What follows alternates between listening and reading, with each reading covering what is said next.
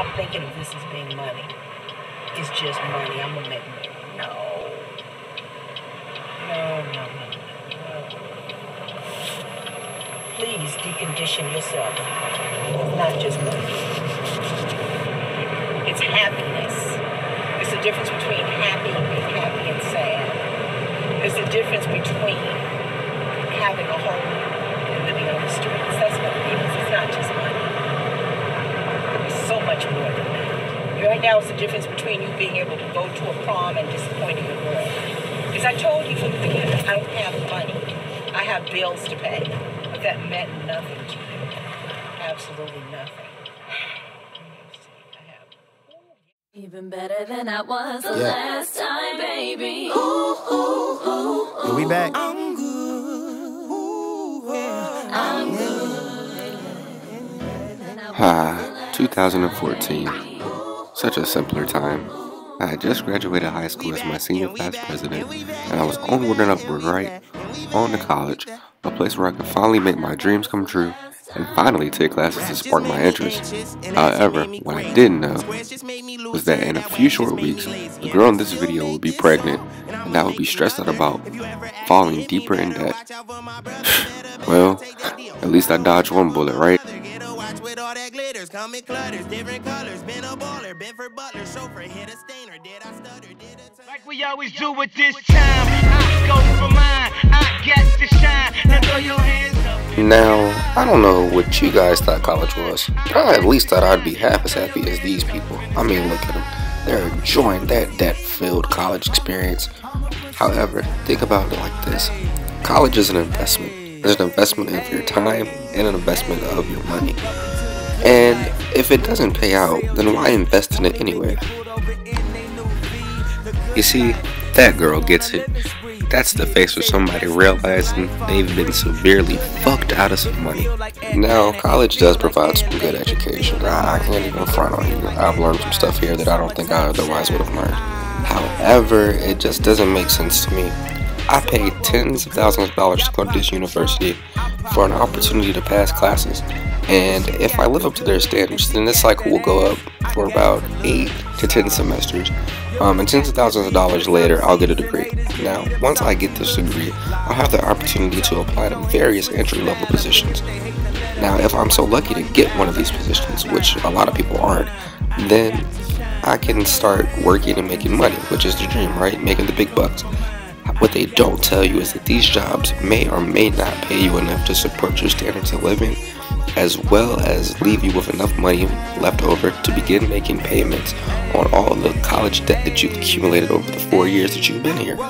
Oh, and these payments start anywhere between six to eight months after you graduate. And believe you me, these people don't give a damn if you got a job or not. So at this point, I'm utterly confused. So I go to one of my best sources of information, my mother, who was an employee at Wells Fargo Bank, and I asked her, what's the point of getting into this debt? I mean, is it realistic that I'm going to be able to pay this off?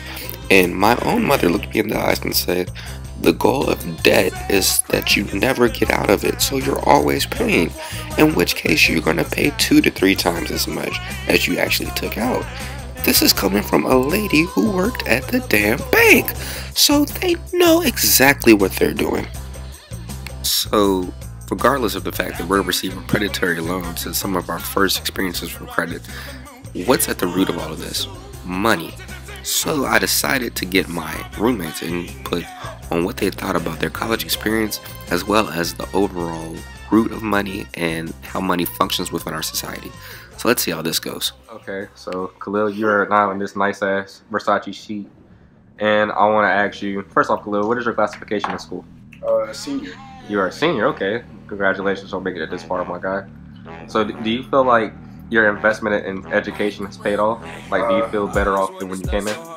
I always want to ride that whip. I always want to I feel that like college is a waste. Thank you God I fuck that bitch. I feel like college is a waste, honestly. I, Always want to wear that ice. I didn't learn want a pair I just finessed my I way. always want a pair of that. And I just what. finessed my way. I mean, like, lot to make I guess, I mean, on a, on a bigger scale, I'm addicted to a lot of crazy shit. it. It's nice to have it. But I feel like money is the So you would so you would say what you put in isn't worth what you're gonna get out. We have Andy here, and if you're wondering, yes, this is Andy's chair. You can't afford this shit. All right, Andy is a senior now. Andy, do you feel like your investment in college has paid off? Do you feel like you're better off now than you were back in the day? I'm different, but I don't know if it's paid off yet. I'm waiting for the long run. So, all right, Arden. So you graduated college, correct? Yes. And do you feel like your education was worth the price you paid for that?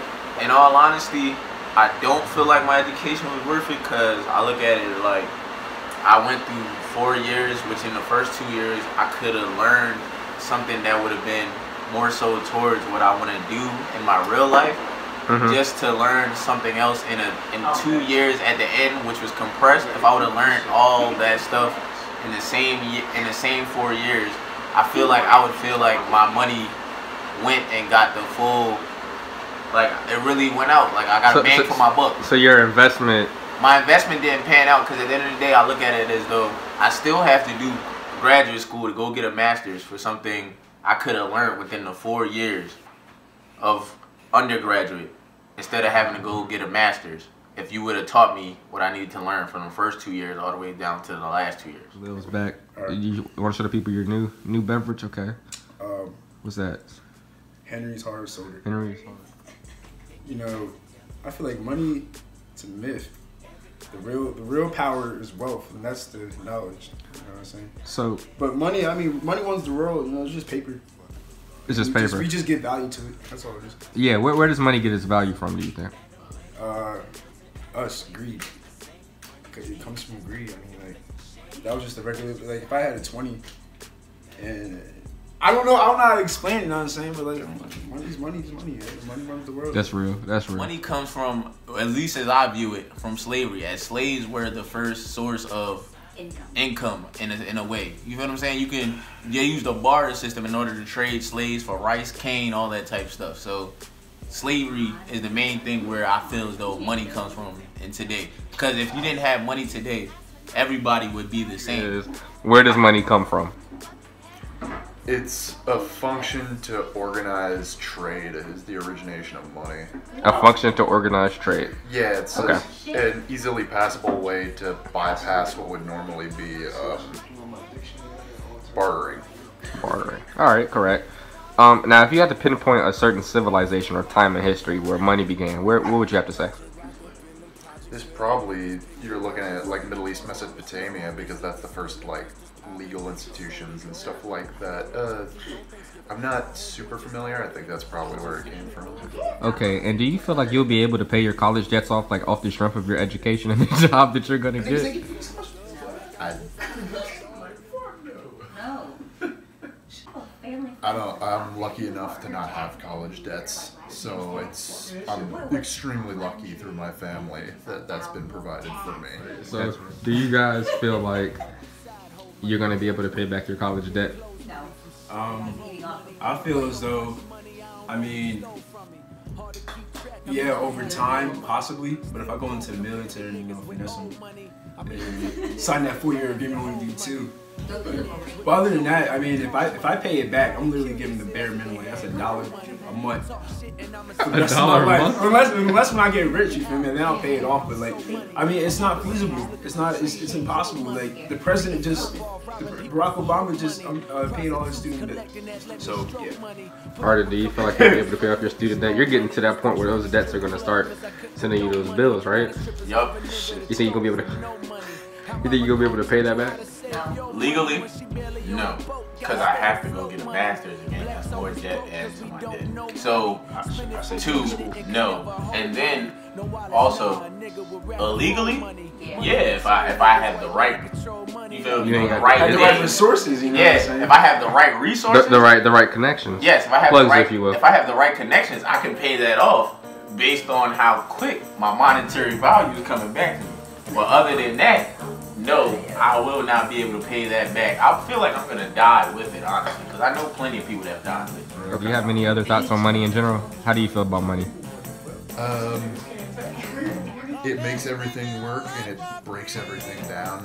Is it's the oil and the water is the thing with money. You gotta have it to make things work easy. But if you have too much of it, it breaks, it destroys everything else. That, that's very real. All right, we appreciate you, and dog. Thanks for coming. How you feel about money in general? Uh, I personally don't like money because at the end of the day, you gotta look at it like this. It's it's people out here that's starving, that can be, that can use the money, and it's people out here that's wealthy that can donate the money, and they're not. The government's basically not doing enough to help both parties or somebody make a donation for something at the end of the day. So money to me is like it, it's it sets us in a class type type society because if, if this person has this certain money, they're looked at as a higher standard than a person that's more so low scaled in society. So money to me is the root of all evil, as they really say. All right, respect, bro. Appreciate it. So, so like, how do you feel about money? Like in general, like how do you personally feel about money? Uh, I hate money. I feel like money didn't exist and we just instead of using currency in a physical aspect, we should use it in like a like in, a, in another aspect where niggas don't have to go, you know, in debt and shit for money. Cause like, why am I born on this world to live? And I gotta pay to live on this damn world. Nobody has to be born. I That's facts. All right, that's facts. That's real. All right, thank you, finesse God, for blessing us with your presence. We appreciate it. Yes, sir. So we've reached the part of the video where I'm supposed to come to some revelation about it finally makes sense. I realize why I'm wasting all this money in college, and I realize why I'm chasing money so hard. However, if I'm being honest with you, I really still don't understand the gist of college and the system. Why should I have to pay this much to get information that's necessary for entry level position?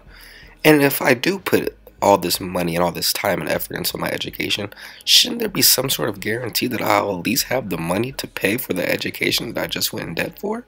Well, I think that sounds like a pretty good deal, and I think it kind of makes perfect sense. But sadly, that's not the reality. And I think that in the greater scheme of things, society is holding itself back. Because instead of focusing on things like finding a cure to the common cold or finding cures to cancer and different treatment methods, we're sitting here working nine to fives in order to pay off the debt that we've accumulated. And while we pay off the debt that we already have, chances are we're going to have to get another credit card to pay for the stuff that we need in the meantime. So the debt cycle continues and society remains in relatively the same place. Our infatuation and our obsession with money, or rather the things that we can get once we have money, renders us blind to suffering that's going on around us. So people will continue to starve, people will continue to get senselessly murdered over pieces of paper, and human suffering and strife will never end. But hey, who cares, right? At least you got credit.